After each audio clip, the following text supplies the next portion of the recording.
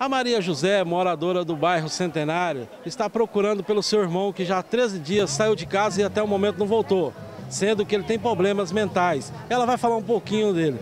Dona Maria, quando que seu irmão saiu e que roupa ele estava trajando quando ele saiu de casa?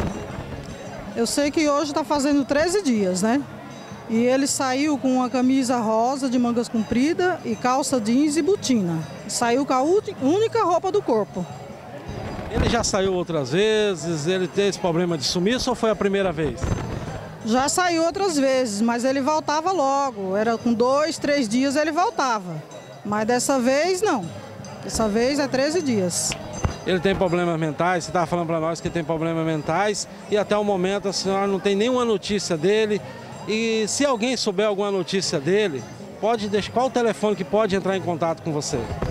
Então, o meu telefone é 984 é 88 1133. Pode falar direto comigo.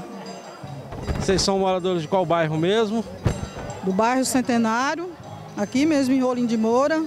É, número, é, a rua Travessa dos Madeireiros, 4258. Qual o nome do seu irmão?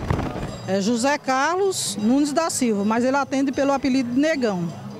Quem tiver alguma informação do José Carlos Nunes da Silva, que reconhece pelo apelido de Negão, entre em contato com a família. A Maria, irmã dele, está desesperada à procura do seu irmão.